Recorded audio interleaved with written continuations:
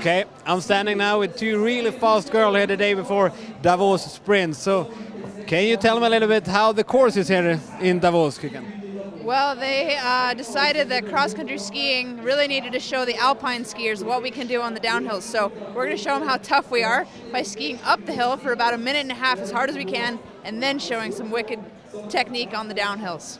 Yeah, because you need a lot of good technique when you're going downhill. This this really tight corner down, yeah, down to the finish area. What do you think about the last corner down? Uh, I think it's very tricky, and uh, yeah, as Kikkan said, we really have to uh, show some alpine uh, technique. So, uh, yeah, um, I'm looking forward to test it tomorrow because I think the conditions will be different from today.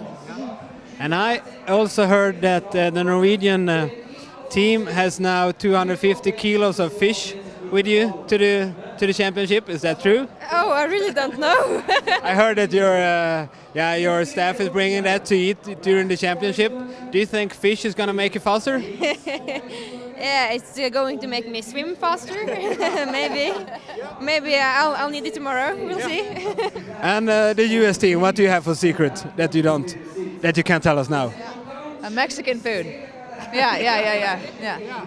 Uh, the, the American secret is Mexican. Yeah, yeah. Yeah. Okay, that's all. See ya.